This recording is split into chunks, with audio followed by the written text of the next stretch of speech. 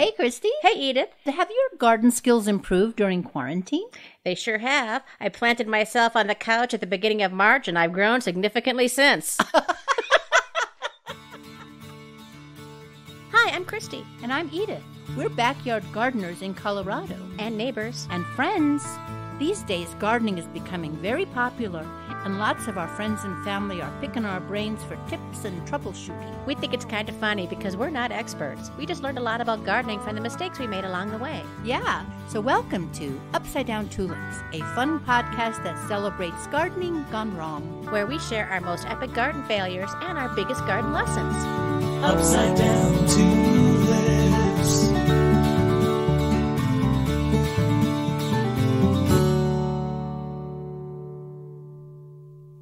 Well, hey, everybody. Hi. Hi, I'm Christy. And I'm Edith. And welcome to the very first podcast of Our Lives. Our lives, our entire lives. That's right. Yeah, it is. The first podcast of our entire lives. We're baby podcasters. Uh huh. And this is Upside Down Tulips, which is our gardening podcast that's going to celebrate the failures of the garden. Yeah. Uh, I, I've had a few. Um, in fact, uh, that's kind of how we started talking about this whole thing, right? Right. We were, it was the end of March and we had both been in quarantine. We were unemployed. And you came over to my uh, social distanced backyard patio. Uh huh. And we started talking about all the time we were spending in our gardens because we Yeah. had nothing else to do. Yeah. Yes, you know, looking around, eh, there's not that much you can plant in March, but you know, you can go out there and feel sorry for yourself. That's right. Oh, I In a- was. I yeah. was into, I was up to my ears in gardening. That's all I wanted to do because it helped me forget about all the craziness of the world. yeah. Yeah, me too. I had decided this was going to be the best garden I ever, ever had. I I agree. Yeah, I think a lot of people feel that way Yeah. because then everybody started asking us for advice. Yeah, which, which, you know, we, I don't know everything. I don't, I mean, no. Yeah, everything I have learned about gardening has been about from all the mistakes I've made. Yeah, me too. And I think a lot of people are like that. Yeah, and and I think failure gets a bad rap. Failure does get a bad rap. I mean, what's the whole thing about you have to take a risk? And really, if you do something wrong in the garden, what's the worst that happens? You replant. Right? Yeah, And it's you- not brain surgery. It's not brain surgery. People aren't gonna die. No, nobody dies. Nobody even gets wounded. Well, unless you know you step on a hoe and it comes and hits you in the middle of the eyes. But don't leave your hose face up on the ground. That's a good mistake to learn from. That's a really I've done that, Christy. oh, I've done that. Have you really? Yeah, it's like out of those. Um, it's out of a cartoon, isn't it? Or the rake. You Yeah, know, I've stepped yeah. on a rake and it just hit me in the head. Boom. Yeah. Yeah, Me and the only thing I'm glad about is that nobody had a video camera when I did it. Yeah, me too. Me too. I think we really kind of bonded over this. I mean, we both work in theater, but that doesn't mean we work together on any shows, right? Because there's a lot of theater here. Uh, yes, that's right. Here in the Denver metro area, In the Denver metro there's a lot of theater, and of course, there's no theater happening now. No. All the theaters are closed No. up, but I have. Um, even before I knew we were neighbors, I was a fan of yours. Oh, what a nice thing to say. And I'm not lying if I say I'd heard about you and was becoming a fan. I just didn't want to repeat exactly yeah, I what, you what, you're said, saying. You know, and I think the first time I remember hearing about you, Edith, is that I was at a new play festival, and I think for and you were one of the judges. they called. I was so embarrassed. They called us luminaries. You were, you are, you know, you were luminescent. Was I luminescent? You still are Really? luminescent. Am I? Yes. Okay. Yeah. Yeah, and then I somebody I was talking about you, and somebody says, "Oh, I think she lives by you, Christy." And I said, "Where?" And I went, "Oh my gosh, you live like two blocks away from me." Yeah. And I remember we also kind of bonded over our love of gardening. Oh yeah, we did. We did indeed. I mean, I uh you know, people uh I don't think people really at a, for a long time realized that you could do these things that they just put up the lawn. A lawn is not the way to go in my opinion, just in my opinion. When you can have when you can go out into your backyard and pick raspberries or peaches or zucchini there's just nothing better. And it's, you know, a lot of work, beautiful work, wonderful work, Yeah. right? It always interests me that people will say that so much work. I find I think it's my therapy. You know, so I'll be out in my real life making theater and directing plays, and I find there's something about what I learn about gardening teaches me about life, teaches me about art, and I just think time goes away. I like all the things about gardening. I even like weeding. I love weeding because I'm often victorious. And if I'm not victorious, I'm relentless. I will go back to that weed. I don't know, for years. You know how some of them have a taproot that seems to go down to China? Well, I, I like weeding very much. Yeah, if I don't get a weed right away, I'll just if I you know if you don't when you get a weed and you get that satisfying pop, Oh, and I the love whole that thing pop. comes Oh, up. Yeah. But then you get that other sound, which is that sort of like Yes. that it- crappy sound. that crappy sound that means you broke the root and it's coming back to Yeah. get you. I Yeah. always say, "Well, I'll see you again in a couple months." Yep. or if it rains, I'll see you next week. Oh, right, that's right? true too. How they Yeah. love the rain. I also found that gardeners are people who have long ago realized nature's in charge. And gardeners are people who have the patience to wait for things. They don't rush things. It's it's so unlike our modern hyper tech, techno society. And it links us, I think, to thousands and thousands and thousands of years back to people that have done this for eons. There's a neat connection to that, isn't there? Yeah. Um, and you're right about patience. Yeah. And I think that's where mistakes and failure come in, is that we learn things. I think the biggest things I've learned about life have been through my failures. Me too. Absolutely. There have been so many. Hello. You know, that person you dated or that job that you had or that Uh-huh. relationship or Cast- that choice. oh, casting the wrong actor for a role. Wow. Yeah, we, we learn we learn a lot from mistakes, and I think um, it helps me to know that because of a gardening mistake, um, it's not the end of the world. right. Yeah, so I'm excited about our journey on our first podcast. Me too. And I want to tell you, my when I come to your house, when I walk over here or drive by or anything, the every single border and boundary you have has the most exquisite flowers. Oh, It, it the colors, I mean literally different parts of your property here and it's not like gigantic, but there's so many different gardens within the property.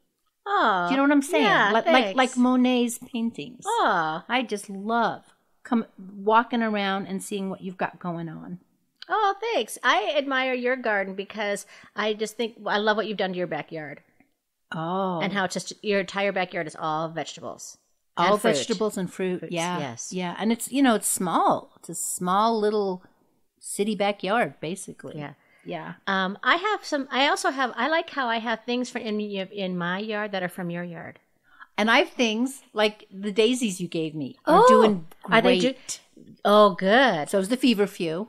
Oh, good. Yep. I have. I love your hens and chicks Mm-hmm. that I've been kind of propagating, and I've been making little art projects out of them and making patterns out of your hens and chicks. You know, at some point we have to do a whole podcast about how you can propagate, how you can share what you have, so you don't have to run and buy every seed, Yes. every seed, but you just it, it's all here. Oh, let's put that on the sharing. list of things to talk about. Yeah. And you know, folks that you know, friends that are listening in, we went through, we sat around and talked about all the things, the topics that we could talk about, and we have topics for a whole year Yeah, of things that we can talk about from our mistakes that we can share with you to help you and your gardens get better. and there's a lot of things that are universal, universal about uh, gardening, but specifically, our situation is that we are we're a mile high, and we're very dry. Yes, we are uh, 5,280 feet high in Wheat Ridge, Colorado. Yeah, it, which is a suburb of the Denver metro area in the beautiful state of Colorado. Colorado. yeah. and we have unique gardening aspects to us, which I think is a which is great for the whole country because mm-hmm. we have to deal with a lot of challenges. So if you're new to Colorado and you're gardening, you'll want to know how to amend your soil because it's going to be very full of clay. or really sandy. or really sandy. I have pots in my yard that are part clay, and then right next door it'll all be sand. Do you have that in your yard at all? Well, well, at this point, after living in my house for I think 22 years, I think I've amended every inch of that soil, Wow. every inch. So, yeah, but it used to. It was hard. It took a long time. Yeah. Patience again. Patience. Patience and learning from mistakes. Mm-hmm. Huh? And we have to deal with things like very dry climate here. yeah, yeah. Water is a precious commodity. And the word and hail. We just had hail last week. We had mm-hmm.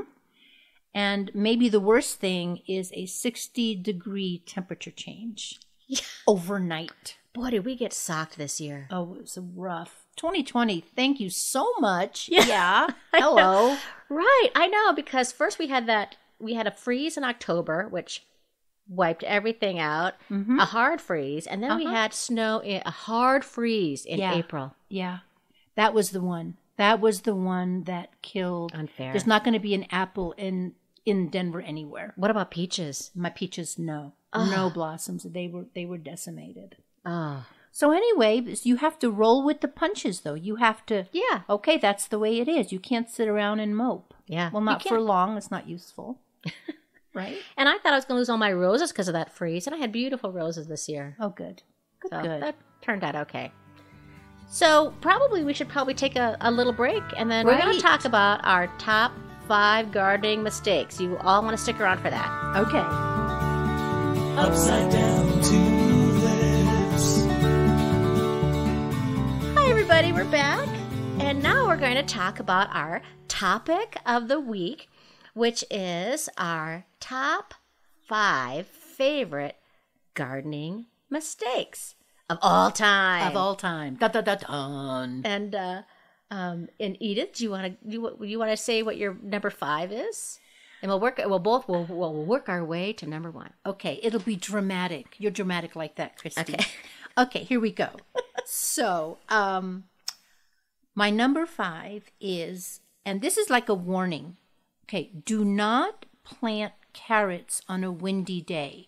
So I had in my hand, I had all these carrot seeds, which, if you've ever planted carrots, weigh I don't know a micro millimeter of an ounce or something. They're so tiny. They're so tiny and they're light. They don't weigh anything. They actually have anti gravity. They actually weigh less than. Yeah. So this wind comes up and blows all the seeds out of my hand.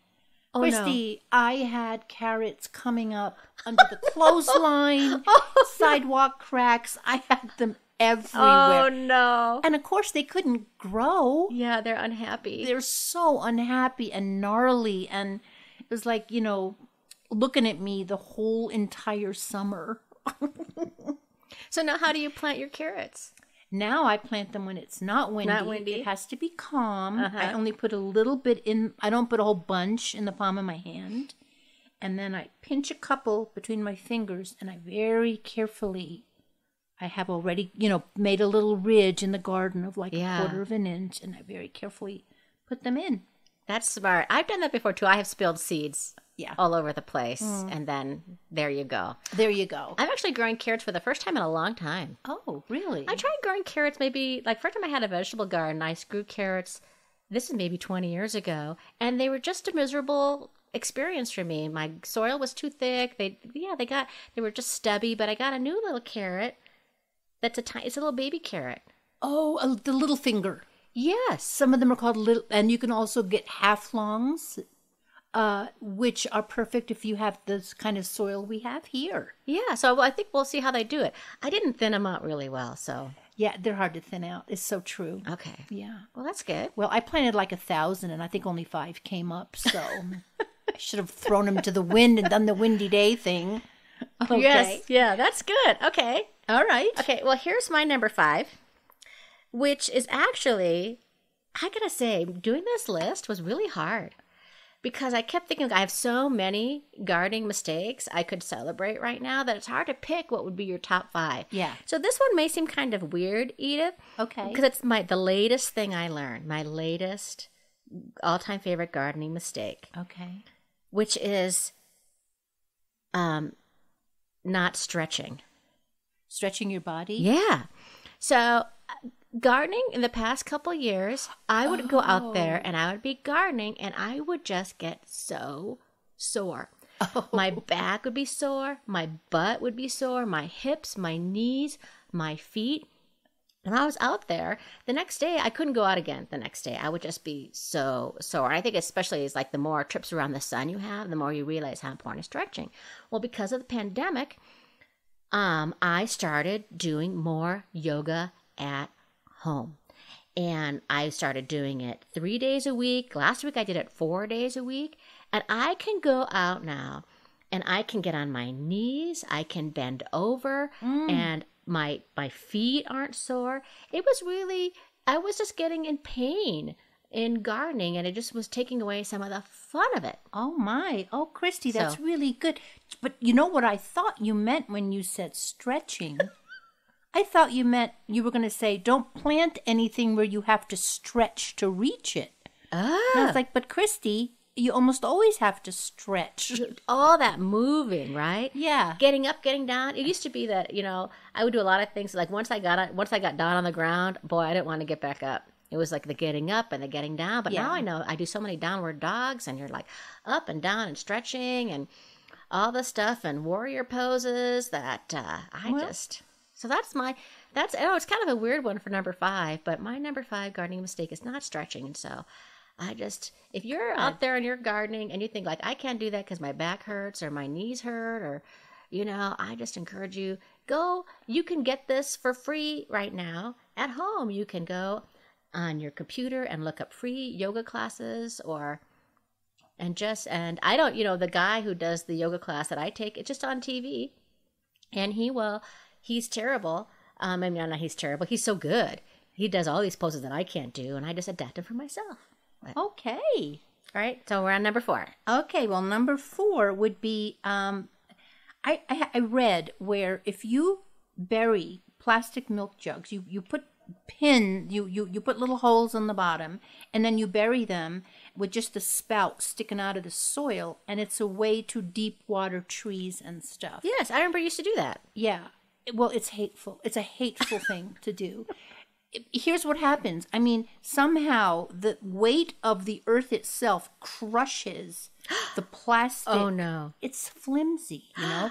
crushes this plastic thing and then it fills up with mud because this thing is sticking out. So now you've got a backyard full of stupid plastic milk jugs. Oh my gosh. Some of which you trip over. So I consider that a huge mistake. Oh my gosh. And folks, uh, if anybody of you has done that, will you please write in and let us know because we want to hear what what if you've done that too. Please You don't let me be the only one. you can't one. be the only one, Edith. Please. Oh, Okay. that's good. Good. Okay.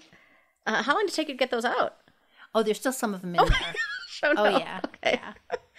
Okay, my number four is a vegetable garden one. Mm-hmm. Um, my number four is my biggest gardening mistake is a fear of harvesting. Oh. When I first started vegetable gardening, I had an irrational fear of harvesting the plants, the vegetables that I grew, because I wouldn't know. I was like, is this the right time to pluck it or not? Is this the time? Is that the time? And, and I used- and at one time I used to grow corn because I think that's what you should do. You should always grow corn. I'd be out there like, is this should I harvest the corn now or not? I'm gonna wait.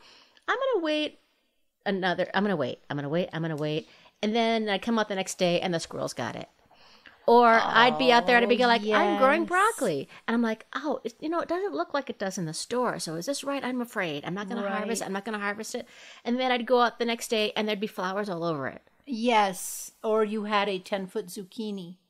Because you're just really afraid. Is this big enough? No. It can get bigger. Sure. Is this how it's supposed to be? right. Or I had this patch of garlic that was out there that just kind of came with the house and I was never harvesting it at all. I didn't know what to do with it. And finally, just recently, I started like, I'm going to start harvesting my own garlic. So today, when I was out in the vegetable garden and my broccoli was out there and, um, and I harvested half of it today. Half of the broccoli already. Yeah. Wow, I, I just think it was ready. So, Excellent. where you, Because it'll grow back. I That's it's- right, little it's- baby broccoli. Yeah, it's not like you chopped it and killed it. You I just took off it. some of the broccoli and it'll Yeah. grow back. yeah. And so will you go home with a piece of broccoli today? Yeah, oh, I'd love to. Okay, oh, good. Yeah, yeah, Okay, good. yeah. Okay, good. Sure.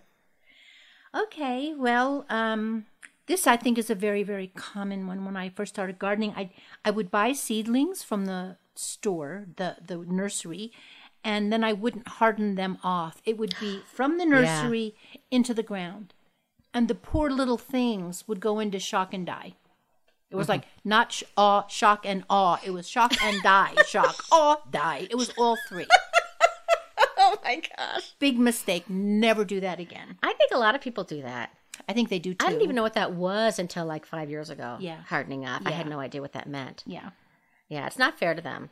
No, not or to you because you know everything dies. So Yeah. that's not why we garden. Yeah. I think I do that think because you just want to get in the ground. Yeah. You yeah. want that. You don't want to wait. You pl- you bought it, you have it, you want to get it in the ground. Yeah. Yeah. Well, Christy, I bated breath. Okay, here's my number 3.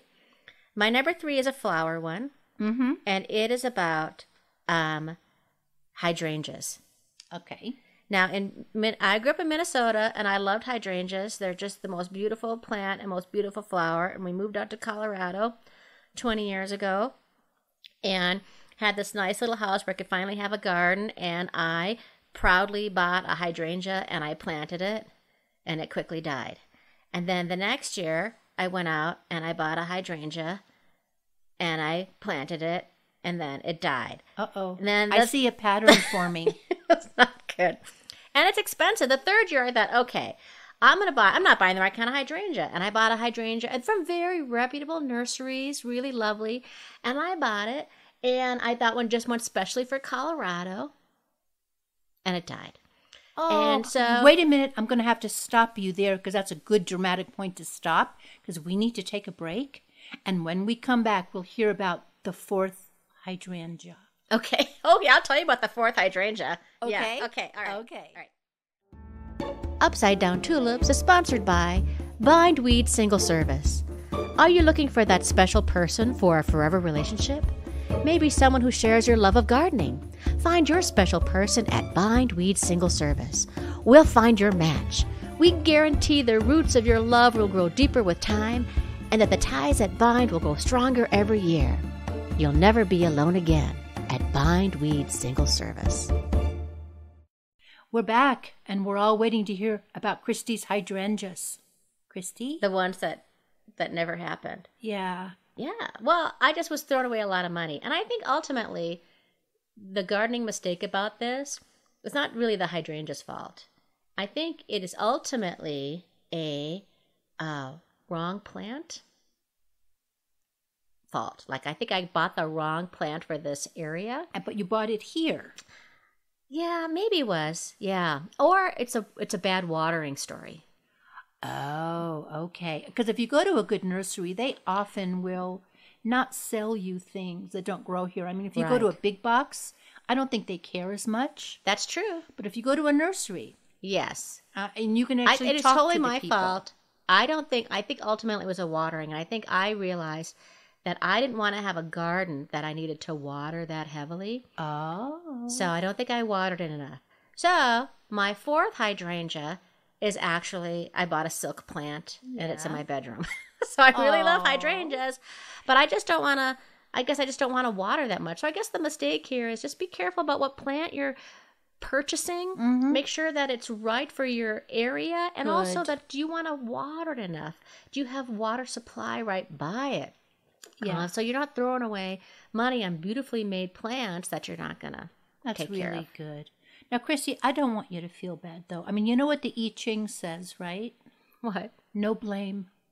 Oh no. The I Ching says that all the time. They go through these long parables and they end it with, I'm gonna cry, Edith. No blame. It's beautiful. Oh my That's god. what this is about. Because I murdered those hydrangeas. I killed them. Going to change the subject before Christy totally loses. it. Can I have a Kleenex, please? This is kind of the opposite of a killing story. This is when I first moved into my house. They the person before me had uh, Doberman pinchers, like a, a a bunch of them. So there was nothing, right? a bunch of Doberman pinchers. Well, two, but they were big.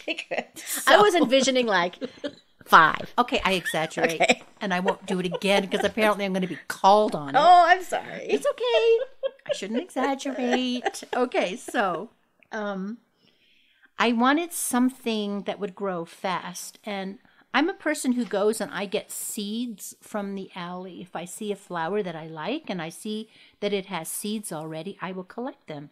And I collected these pretty seeds. Not, well, the seeds weren't pretty. These pretty flowers with these purple, pretty bell shaped purple flowers all up and down on these tall stalks that grew two, three feet tall.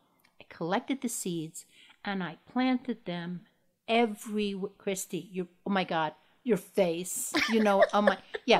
I Everybody, my them- hand is to my my hand is covering my face right now. horror. Because I she think, has a. ho- I think yeah. I know what Edith is talking about. in the front, in the back of my house, front of my house. Turns out it's called a creeping bellflower. oh my god, I knew it. the Oh, most Edith. invasive oh, possible oh, thing Oh, that you could have because they just don't spread by seeds. Oh no, they are a double artillery attack. They have rhizomes. Yes. Good Scrabble word, by the way. Rhizomes under the ground that feed. So they are kind of like the creeping bellflower. Why do they call it creeping when actually it is the most aggressive? It's actually like it's Hitler. It is Hitler, and my garden is Poland, and it has totally taken over. I spend three days every spring Wow. just trying to control it. You've done a good job because I was just at your yard the other day Uh-huh. and I don't think I saw any. Well, I keep ripping them out, but believe Yeah. me, they're everywhere. I had them in. I have them in my yard too. Mm-hmm. And folks, if you're out there and you have creeping bellflower, please write in and tell us your stories about creeping bellflower.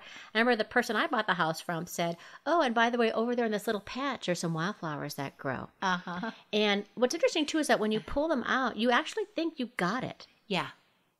You Yeah. get that nice little sound. Yep. Christy, I have dug I have dug with a shovel. I've dug Yeah. with a shovel. I have found the rhizome, but what I if you leave even the tiny piece yes. of it, it's Creeping your- bellflower. it- it's impo- it's impossible.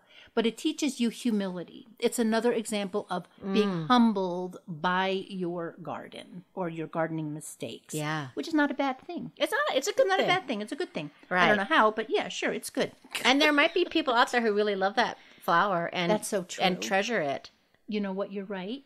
But not me. You have just broadened my I perspective. don't care. Yeah. Broadened. Thank you, Christy, for doing that. Yeah. Oh, yes. Okay. Okay. Well, my number two fits in really well with this one. Okay. This is a lawn mistake. Now, the big difference between our gardens is that you don't have a lawn at all. Which is- No, I got rid of my. but we have a, we have we have a lawn. We're from Minnesota. You have you know it's I don't know maybe it's a cultural thing where you feel like to have a little lawn. In Minnesota, you can grow a lawn incredibly easy. really.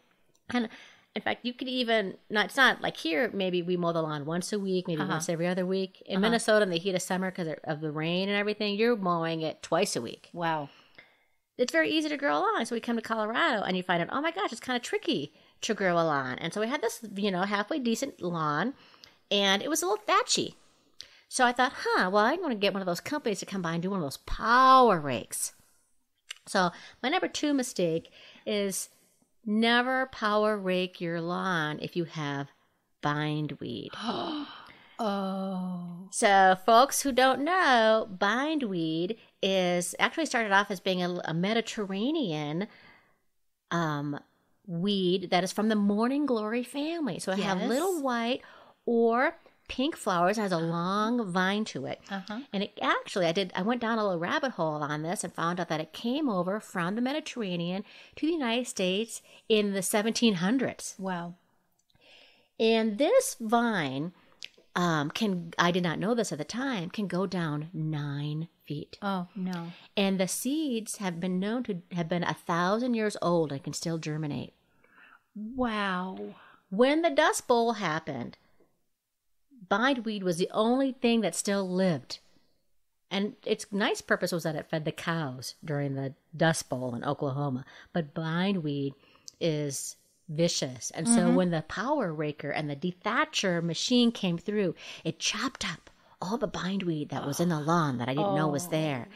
And Edith, did you ever see, remember the movie Sorcerer's Apprentice? Yes. Yes. So when Mickey Mouse was had um had gotten the uh the brooms to d- deliver all the water to the well, and he chopped up he chopped up the broom because.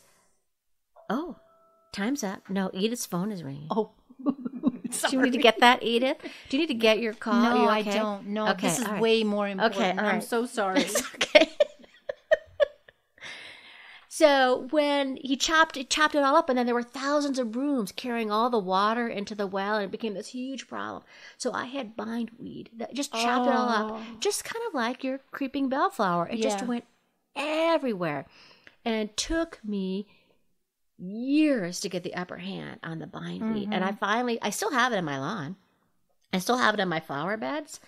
Um, I it has been and and people out there, man, if you have bindweed stories, oh uh, man. s- tell us your bindweed stories because oh my gosh, and if you are a new gardener and w- are wondering what is so bad, I mean, it has a flower and everything. The thing is, it will choke your other plants. It will mm-hmm. use up water, and water is a very mm-hmm. precious resource. So mm-hmm. we have to be cruel to the bindweed. Right? We do. We do. yeah, yeah. I don't know how do you get rid of your bindweed, Well, you know, I poured boiling water on it. And that works. It worked if you do it a lot. For it took Yeah. me a few years Yeah, pulling works really well. Like if you pull it and pull it and pull it. because then it doesn't have the leaves to nourish itself. But Yeah. it, again, patience. It takes Yeah. a long time. Yeah, sure. Yeah. And I felt bad. I thought when I put boiling water on, maybe I'm boiling a worm, which oh, I don't. Oh, no. Yeah, so that's not good because worms are great for your garden. Yeah, you don't want to boil your worm. You don't want to boil your worms. No. Okay, well, you know, my my last one is is actually um kind of a kind of a one-liner. I my uh first gardening, my biggest gardening mistake was not having enough friends to give zucchini to.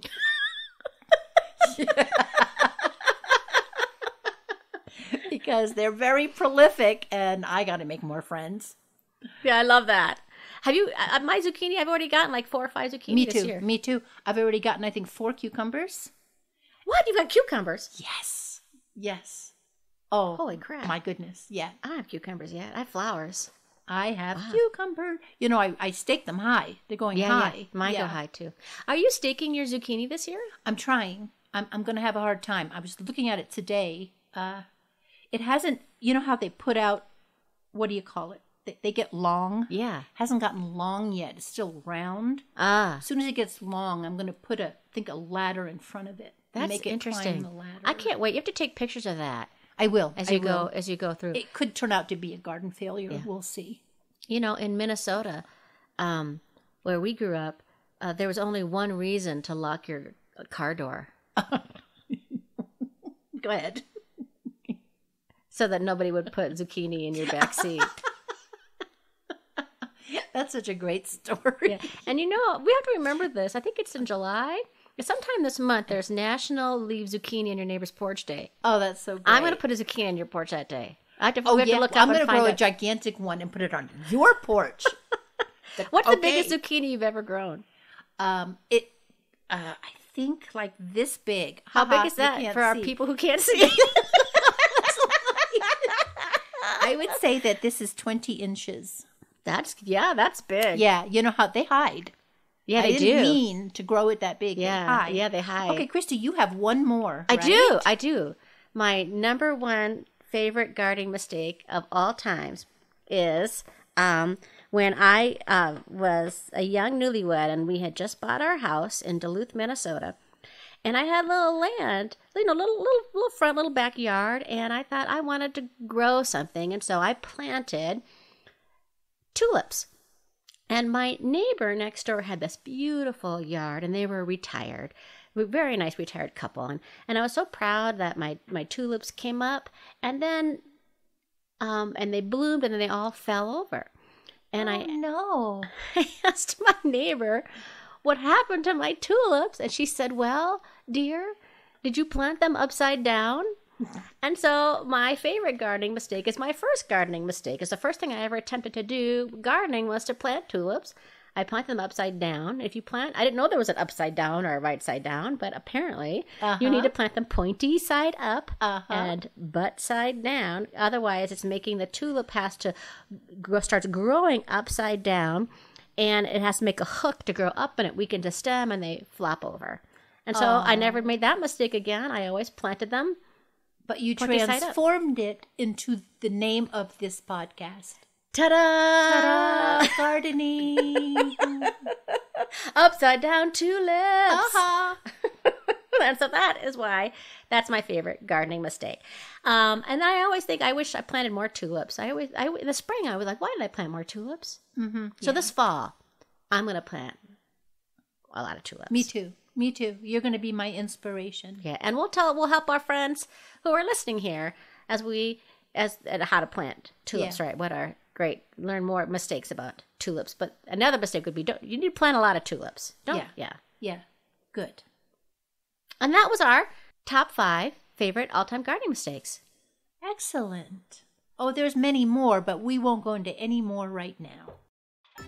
Upside Down Tulips is sponsored by Farmer McKegg's Eggs. Farmer Ernie McKegg's eggs are from happy backyard free ranging chickens. The freshest, biggest eggs you can buy. With prices so low, you have to wonder if the wear and tear on the chicken's butt is worth it. Find Farmer McKegg's eggs anywhere eggs are sold. He has a really big backyard. Okay, folks. So that was our top five favorite gardening mistakes. There was 10 in all because there's two of us. Oh, good point. Yes, thank you. Mhm. You're welcome. Math. Yes. Not your, not Not my, suit. not my- oh, we've proven that. and we want to hear your favorite gardening mistakes, huh? And so we encourage you to write to us at our website, upsidedowntulips.com, and we actually have uh, some people who already wrote in with their gardening mistakes, right? It- well, okay. Uh, since this is our first podcast, it wasn't like they wrote in without us asking them. We asked them to, right? They were- just for yes. transparency. That, that we solicited them. we solicited them and were amazed and amused by the Yeah, number good. of mistakes. Yeah. Funny mistakes and the funny attitude people had toward them. Like, for example, listen to this. This is from Uta, who lives in Centerville, Virginia. Quote A mistake I made when putting in raised beds. I put thick landscape fabric on the bottom to control the grass I was covering. Oh, yeah. The carrots I tried to grow that year were fat, stunted, and not very tasty. They all came out looking like old trousers. that. Oh god. Oh, that's so good. oh, I know that landscape fabric. I've done that before. Have you done that? Have you had? No, I never have. Yeah. In fact, there's a there's a spot in my yard to this day that I never put in, but it's it, it's in the in the back corner where my roses are. That still has that landscape fabric, and it won't. I can't rip it What up. is that? Is that for controlling weeds? Yeah, but then the weeds, no, Oh. you know, weeds find a way. Yeah, they do. Yeah, landscape. Hey, friends, have you done that? Has anybody done that? Put landscape fabric down? That's a common Yeah. gardening mistake. Aw, okay. Yeah. Well, I have a really good one too. This is from Gretchen from the great state of Colorado. She says the biggest mistake flower wise was not loosening up the already root bound plants before I planted them. I need to learn that they're more hardy than I give them credit for. You can be delicately rough with the roots prior to planting so the roots are able to spread. Oh, I love that. Love that. delicately rough. Delicately rough. I'm not sure what that is. I'm going to try that on my, I don't know, pets. Yeah. That's right. you do have to be you do have to um, open up Yes. those roots though. I've Yes. I I had to learn that too. You think like Yeah, you just can't. I think I know what she means. You Yeah. can't take the root ball and bash it against the wall. That's just rough. You can't just like tweeze them out. That's just delicate. you have to be delicately rough. yeah. Yeah, and, and open it up. Otherwise, what happens is that the roots just keep going in that little circle. Yes. and they go Yeah. crazy. They, go, insane. crazy. And they get mad. And you don't want mad roots. No, No, not a good thing. So please write in because we love your mistakes because they make us feel better about our own. Right, Christy? that's right. Let's bond together. Yeah. Excellent. We would like to leave you with an inspiring quote. Here it is. It is by Marcus Tullius Cicero. And it is If you have a garden and a library, you have everything you need. Ah, Isn't that nice? I do love that. I love that too. You do have everything you need. Yeah, if you really think about it, yeah.